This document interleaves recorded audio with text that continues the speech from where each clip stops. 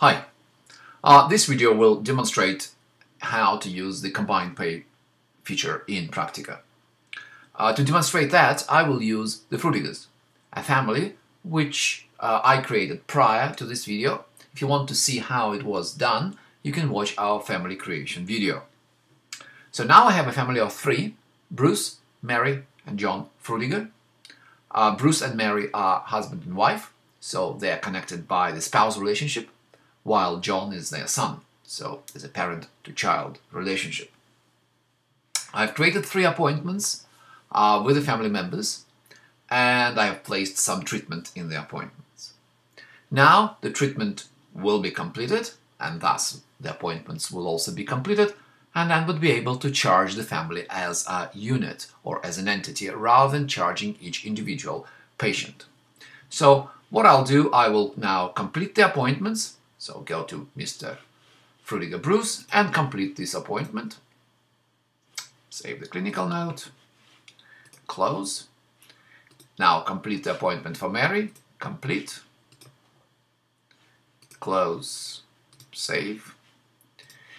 Uh, complete the appointment for John. Complete. And save. And now I have three completed appointments, none of them paid, so you can see unpaid, unpaid, unpaid uh, appointments.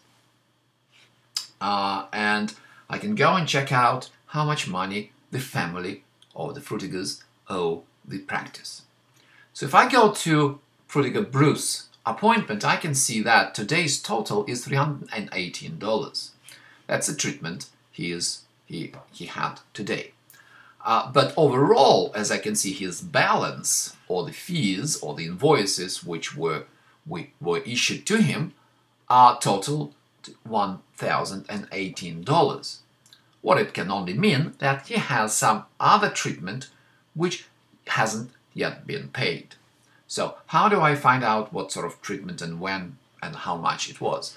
I can click on the patient, patient summary file, patient file, I can see in the summary there are three appointments which were not paid, so $120 on the 19th of the 6th, uh, 580 on the 20th, and 318 as of today, Friday the 19th of July. So altogether, uh, he owes us $1,018. So some for previous appointments, some for today's appointment, and uh, his other family members also owe us for today's appointments. So I can go and check with Mary. Mary owes us $100, and you know the overall total is $100. And John, $115 today, overall $115 today. Now, if we look at uh, the whole family situation, we can see that Frutiger Bruce owes us for three unpaid appointments. 580, 120, 318. Altogether, $1,018. Mary owes us for one appointment, which is uh, has a value of $100, and John owes us $115 for a single appointment. As a family unit, as an entity, they owe this practice $1,233, which is a sum of the owing sums uh, of all the family members. And you can also see the relationships established between those family members, spouse relationships here, parent-child, parent-child relationship there. To make a payment, what I can do now, I can go to any family member appointment. So I'll go to Bruce and I will press the Combine Pay button. So when I press the Combine Pay button, I can see at the top uh, a table uh, the list of all unpaid appointments. So you can see that Bruce has one, two, three, Mary has one, and John has one. I can select the appointments I would like to pay. So I can select either all of them, or I can just choose, you know, those three or, you know, other appointments. So I decided I should pay for all of them once. So I'm paying for multiple appointments for Bruce and also appointments for the whole family using the combined pay.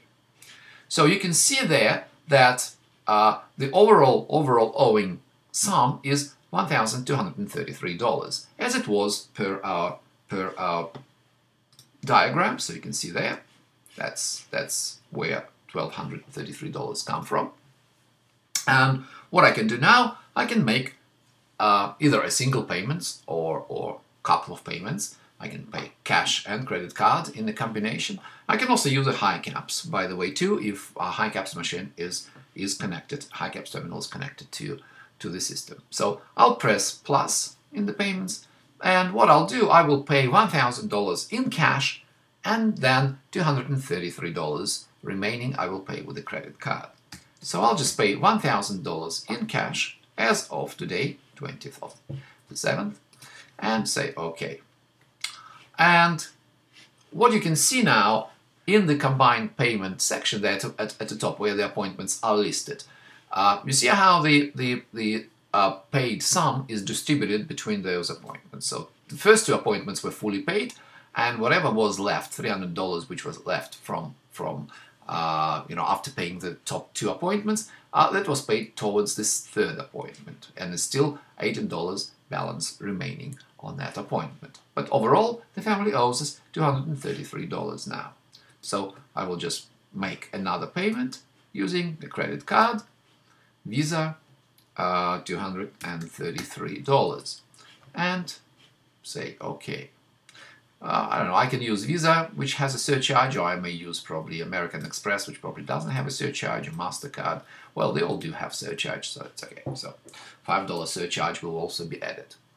Okay, so you can see the $5 surcharge was added on the card, and which was also distributed between, between those uh, uh, appointments over there. So you can see now that all the appointments were paid. You can see that the overall balance owing is zero. And if I say now OK, you will see that each appointment now, uh, each of those three appointments is paid. So that appointment paid, that appointment paid, and that appointment paid. And also you may see that Bruce now owes us nothing. So this appointment is nothing, and the overall total balance is nothing as well, zero. If we go to his patient file, you can also see that all of his appointments were paid, so his balance is zero, he owes us no money. That's the amount he has paid for the treatment uh, he received. So uh, this is what was issued to him, and this is what, what was, was paid. So uh, like this, using a single transaction or couple of transactions, in our case, we were able to pay not only for all the family members, but also for any outstanding uh, amount um, a patient may have had.